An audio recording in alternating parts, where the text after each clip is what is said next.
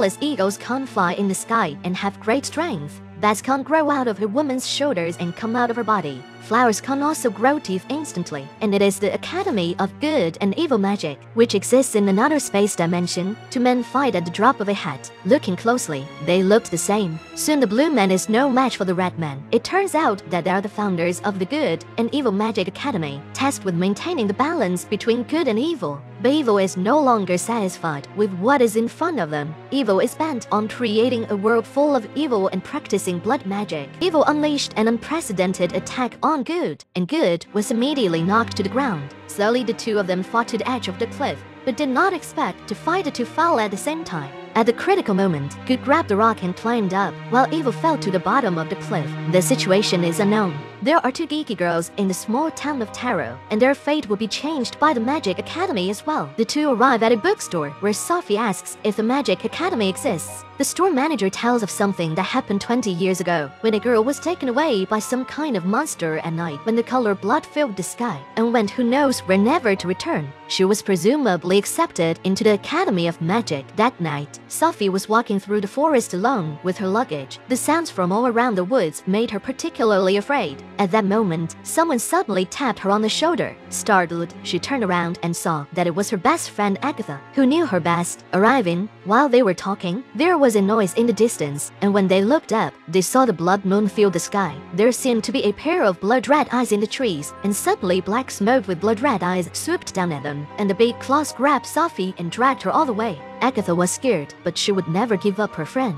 and she chased after her, pouncing and pulling her to a halt, and Sophie felt that this was probably the academy coming to get her, but Agatha still doesn't feel safe and urges her to go home. Suddenly, a pair of giant palms appear high in the sky and grab the two, and with a scream, they were carried up into the air. Grabbing them was a giant hairless baby. In the distance, can see the spiky, tower-like castle that is the Academy of Good and Evil, where Sophie has always fantasized about being a beautiful princess, while Agatha, with her framed, sad face, cries out for her to go home. But often things don't work out as planned. Just after flying over the academy, which symbolizes goodness, the bone eagle suddenly drops Agatha, followed by Sophie. Agatha wakes up in the middle of a field of flowers and in front of her stands beautifully dressed girls, while Sophie is thrown into a pool of water. When she gets up and looks around bewildered, a man tries to touch her hair, which causes her to fall back, but she is pushed and turns around to see that it's a wolf guard. And so it is that the two meet again at the school's opening ceremony. Agatha does a backward tilt in her clunky dress, while Sophie wears an ugly black vestment. The two academies spar with each other, and a man leaps down from a great height to spar with the students of the Evil Academy, one against many. Sophie hears the man next to her introduce him as a prince, and her eyes fill with anticipation. A master comes out from the evil team, and they fight back and forth in a stalemate. The prince is victorious and is about to give a rose to the beautiful sister on his side of the camp when he turns around and sees the beautiful Sophie, and in a daze throws the flower to Agatha by mistake. Agatha is ostracized by her companions and locked in a room, and Raphael warns Agatha